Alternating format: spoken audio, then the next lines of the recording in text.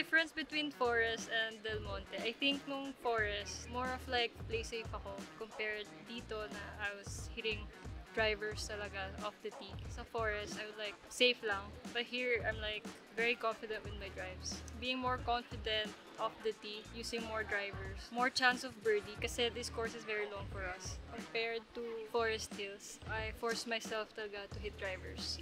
Nakatulog ako ng maayos na before teeing off. Yeah, but I still need to uh, work on every time I lead a tournament. I think that I still need to work on.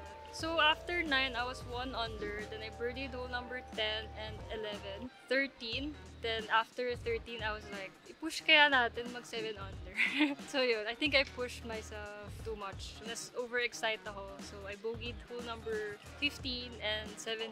My 3 footers for par. Yeah, after my 4 under, I think diba, uh, push pa natin to 7 under. Pero at the same time, I was still feeling pressure. You know, I really wanted to win.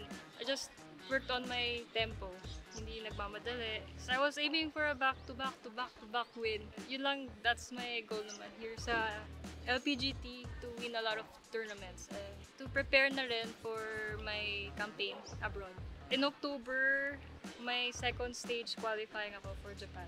I would like to thank my sponsors, Januarius, GolfX, Valley Golf, Titleist Philippines, Del Monte Golf Club for letting us play in your wonderful golf course. Thank my family, friends, and sa lahat ng sumusuporta sa akin. And I would like to thank ICTSI for hosting this event. Thank you!